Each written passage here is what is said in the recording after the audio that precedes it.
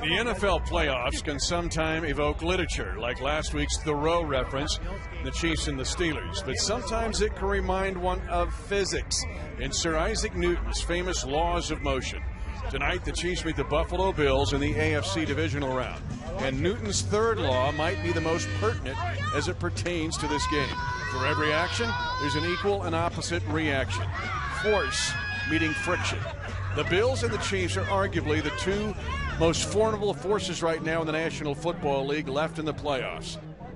Balanced, talented, explosive, both the Chiefs and Bills. Last week, Buffalo quarterback Josh Allen was unstoppable with five touchdown passes. Chiefs quarterback Patrick Mahomes was unstoppable, setting an all time playoff record five touchdown passes in less than 12 minutes of game time. Bills Chiefs football physics in the divisional playoffs here at GEHA Field at Arrowhead Stadium as much as I want to say week five was an anomaly and we have a totally different team, we had set six of the starting 11 defenders out of that game that's going to be here present tonight. I still had to carry some of it. I still had to carry some of it with me. So when I was coming up with my keys to victory for this game this evening, the first one brings me back to that week five game. And what sour taste was left in my mouth from that matchup was how the Bills established the tempo up front. How they came in with a concerted effort. They were willing to wear some flags. They were willing to get some penalties. They had 10 the entire game, but they had the most poignant ones early in the game. So my first key is that we have to flip the script and set the tempo in this game up front. As Harrison Butker, a captain, and I, along with Tyrann Mathieu, and also Anthony Hitchens, the three Chiefs captains, it's the Chiefs and the Bills. Again, the home teams are 0 and 3 so far in the divisional playoff round. The Chiefs will try to change all that. He talking about he changed it from um, he want he don't want eight no more. He want uh, one. I want that one, yeah. Kenny, I want Kenny. Put him in that one. Oh, there you go right now. He gonna jet, baby. 37 degrees, barely a breeze, north at three miles an hour. It is a gorgeous night for football here in Arrowhead Stadium. And I'll tell you what, the fans are ready to go. Finally, the bright lights can come on here and the home fans can get ready for to go for this game. They've also done a great job defending the kingdom in the stadium tonight. A lot less blue jerseys than there were last week in the stands with Pittsburgh fans. So ready to defend the place and beat the Bills once again. Let's go.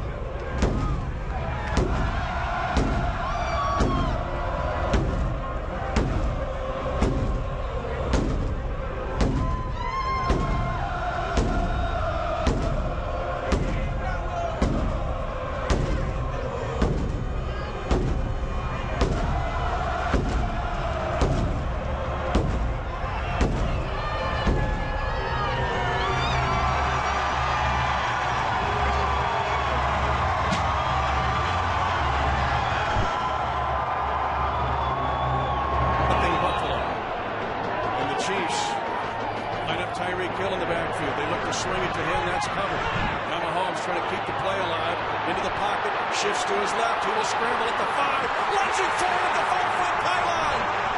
And what will they rule here? The officials confer. No signal given. They're going to say touchdown, Kansas City. Eight-yard scramble by Mahomes. And this drive, almost all Mahomes on scrambles.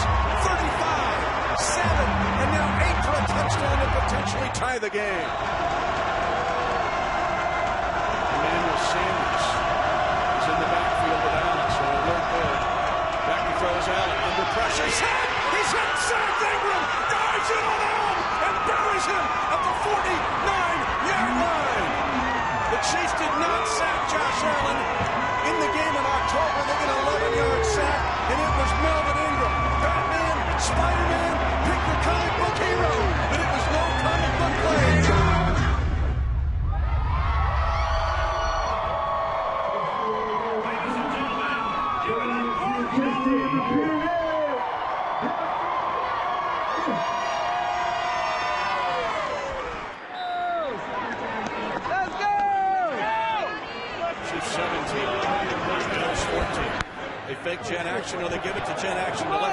Hardman waits for a block.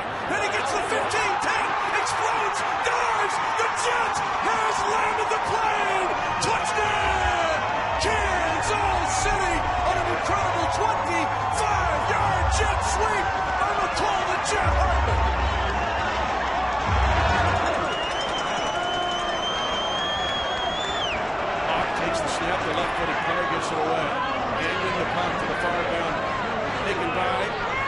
Hill at the 40. Stutter step near midfield. On his feet, 45 of the Bills, 40.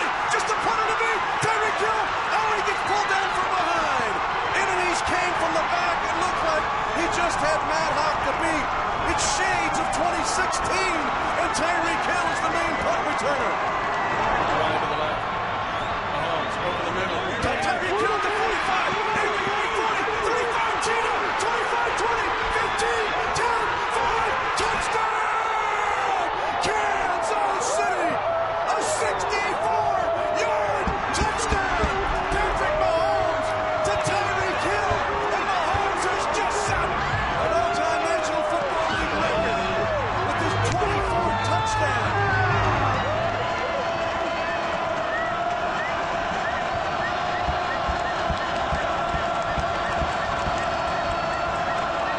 Three wide to the left, single wide to the right. First and 10 for the Bills at the Kansas City 19. Allen in the pocket, fires for the end zone, caught, touchdown on a post parry. Touchdown, Buffalo Bills. Holmes, they throw it to Tyreek Hill. This is the same kind of screen they ran against. Timeout called by the Chiefs. Used six seconds. Safeties are back for the Bills. Mahomes takes a snap on the near hash. Goes down the middle to Kelce, 35 down to the 31. Timeout called by the Chiefs. Timeout at the 31-yard line with three seconds left, and here comes Butker. A 25-yard pass play. They go to the single side of the field with Travis Kelce. Outside leverage by their defense. Outstanding job dissecting this defense. Travis Kelce having the time clock go off in his head. Calls the quick timeout with three seconds left. Butker missed a 50-yard field goal at the end of the second quarter. Made a 28-yarder early in the third quarter. He also missed a point after. This would be a, put down a 49-yard try to try to tie it with three seconds to go in the game in regulation.